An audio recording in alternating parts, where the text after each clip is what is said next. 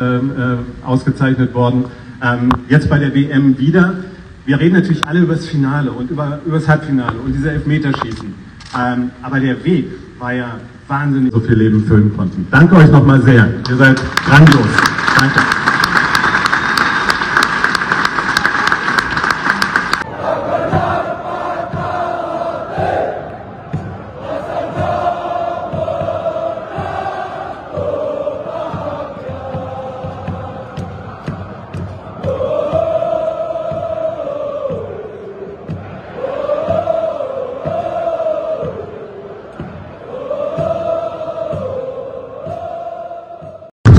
Iniciativa Moreira Kofunga, Peter Machawi, Paris Brunner, Max Vorschnitt, Noah Davic, Charles Hermann, Winners und Davic, Robert Ramsack und Bilal Seichen Kajak.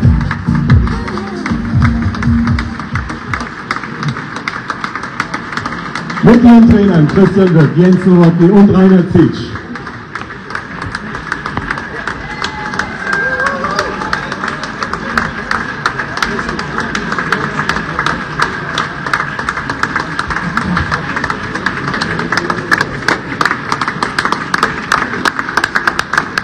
Sie haben uns den Pokal mitgebracht. Hoppala. Und ähm, ich und Olli Freier dürfen euch ähm, ein bisschen äh, vorstellen und ähm, euch ein paar Fragen stellen, die noch offen sind. Ähm, Noah, ich würde gerne mit dir anfangen. Ich habe selber 20 Jahre lang Fußballspiele kommentieren dürfen. Da waren noch ein paar dabei, wo Pokale übergeben wurden. Ähm, ich bin totaler Fußballfan und ich habe noch niemals eine Szene erlebt, wo ein Kapitän einen Pokal kriegt und ihn nicht hochhält, sondern an seinen Trainer weitergibt. Was ist in dem Moment in deinem Kopf vorgegangen?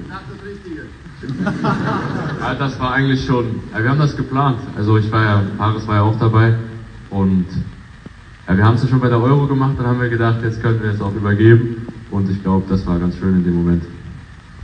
Christian, fandest du es auch schön? Komm nach vorne.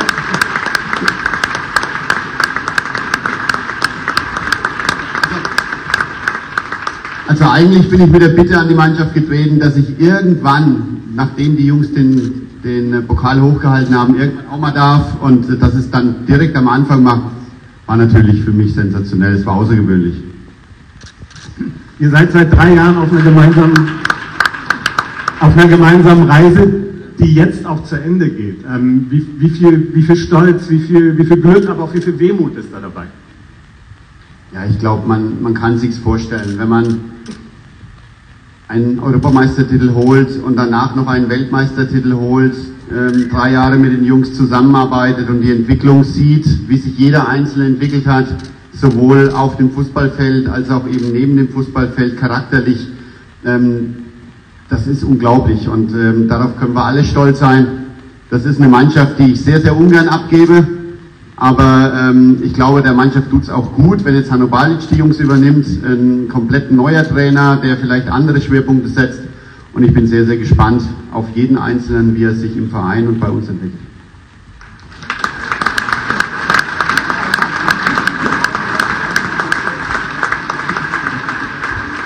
Okay, jetzt müsst ihr ein paar Geheimnisse lüften. Äh, Paris, ihr habt ähm, den Pokal bekommen und dann ging die Party los. Was ist auf der Party alles passiert? Könnt ihr darüber reden? Ich würde sagen, ähm, was, auf der, was in Indonesien passiert, bleibt in Indonesien.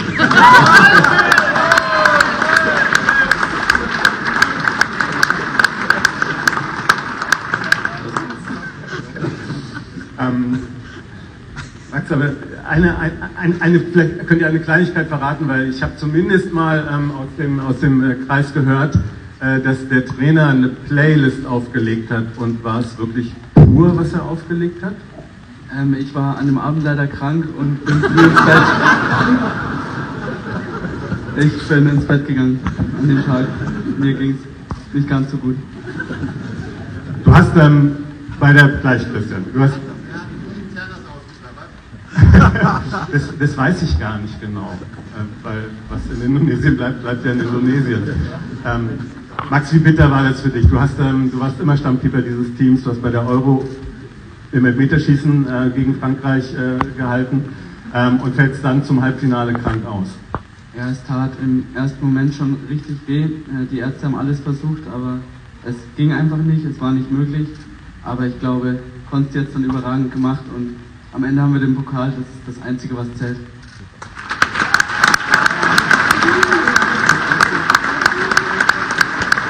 Konzi, wo bist. Wie sehr ist dir die Düse gegangen, als du vom Halbfinale erfahren hast, du spielst? Äh, eigentlich gar nicht tatsächlich. Äh, ich habe immer zum Spaß schon äh, öfter gesagt, so ja, ab dem Halbfinale kann ich mal reingehen. Äh, ja, das dann so kam, äh, krasser Zufall, auch schade für Max, hat er das ganze Turnier gespielt und hat es ja, ja wirklich gut gemacht. Äh, ja, deshalb, also eigentlich war ich jetzt nicht so nervös.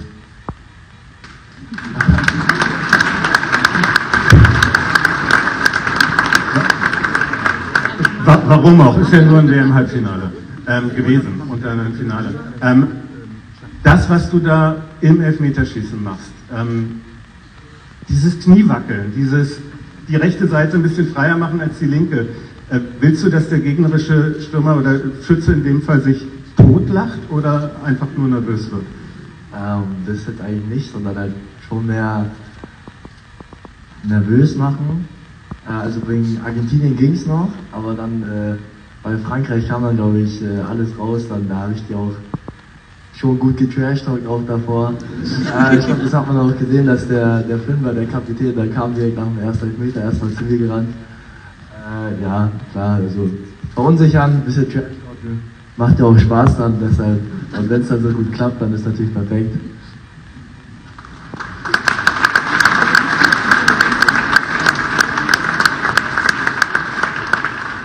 Wenn wir schon bei der Torwart-Thematik sind, dann äh, würde ich euch einfach mal bitten, vielleicht vorzutreten und den dritten noch dazu zu kommen. Luis Barbatz. Daran wollen wir auch erinnern, ähm, dass äh, leider zwei verletzt abreisen mussten. Farid und äh, Hassan Uedraugo von, von Schalke 04, der zwei Spiele gemacht hat, die genauso Weltmeister geworden sind, auch wenn sie jetzt nicht äh, dabei sein konnten. Paris, an, an dich noch eine Frage. Du bist bei der Euro als bester Spieler ähm, des Turniers ähm, äh, ausgezeichnet worden. Ähm, jetzt bei der WM wieder. Wir reden natürlich alle über das Finale und über, über das Halbfinale und diese Elfmeterschießen. Ähm, aber der Weg war ja wahnsinnig hart, ähm, weil auch die Amerikaner im Achtelfinale, die Spanier im Viertelfinale richtig starke Gegner waren. Wenn du dieses Turnier jetzt mal für dich nochmal einmal, einmal durchdenkst, was waren eigentlich für dich das, die härtesten Spiele? Ähm, das härteste Spiel für mich an sich war gegen Spanien, weil also die Spanier kommen ja relativ über Ballbesitz und Technik und das kompakte Verteidigen. Und bei dem Wetter natürlich auch bei 25 Grad, aber auf 35 Grad. Bei 35 Grad, aber ja, wir haben gut verteidigt und hat uns am Ende auch zum Sieg geführt.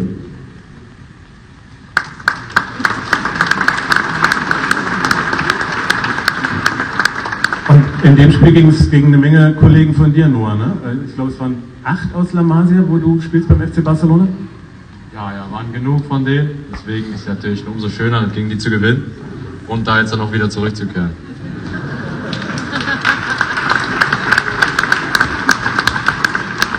Alles klar. Nochmal, wir sind so stolz auf euch. Ihr habt uns glücklich gemacht. Es hat so Spaß gemacht, euch zuzuschauen. Ähm, äh, ihr habt euch unsterblich gemacht. Keine Mannschaft ist äh, vorher Europa- und Weltmeister in einem Jahr äh, geworden. Und ähm, wir hoffen alle sehr, äh, euch als äh, A-Nationalspieler in einigen Jahren wiederzusehen. Das Zeug dazu habt ihr.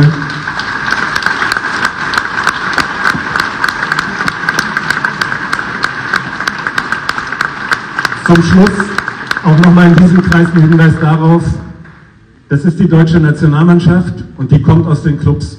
Und nur wenn wir alle gemeinsam an einem Strang ziehen, werden wir so erfolgreich sein wie diese grandiosen Burschen. Ähm, danke an die Clubs, äh, die äh, die Spieler zur Verfügung gestellt haben. Ich habe Halit Altintop von den Bayern stellvertretend gesehen. Die Bayern haben vier Spieler dabei gehabt. Ähm, ohne diese Unterstützung äh, würde das alles nie funktionieren. Das ist cool und wichtig, dass wir an einem Strang ziehen. Danke euch.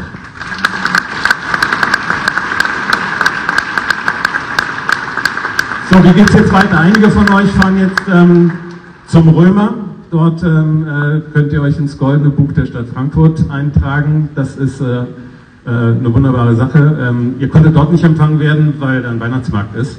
Äh, aber es ist so schön, äh, dass wir euch hier hatten äh, und dieses großartige Haus mit so viel Energie und so viel Leben füllen konnten. Danke euch nochmal sehr. Ihr seid grandios. Danke.